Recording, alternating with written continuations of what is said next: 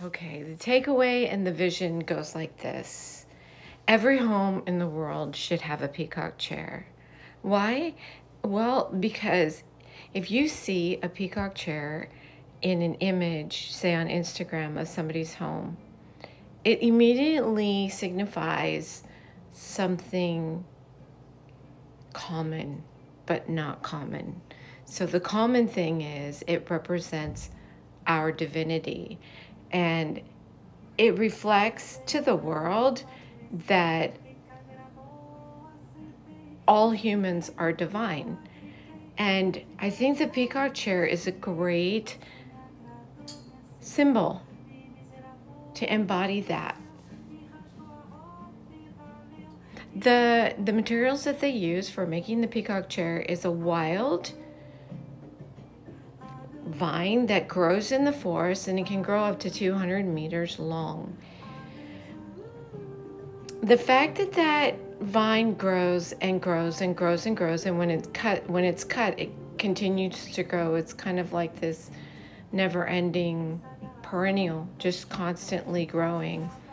And it just represents this line of eternalness that we all possess and you know, these words that I'm using are almost cliche and overused in society.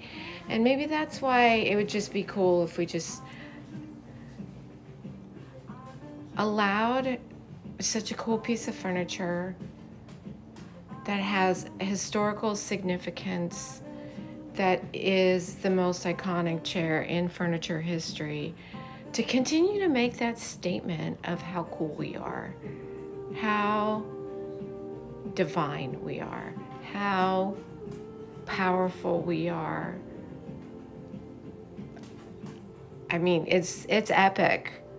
The creative powers that we have, it's epic.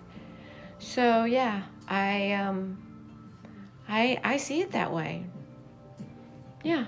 I see that every home in the world should have one and that by doing so you're actually voicing this universal message to everybody that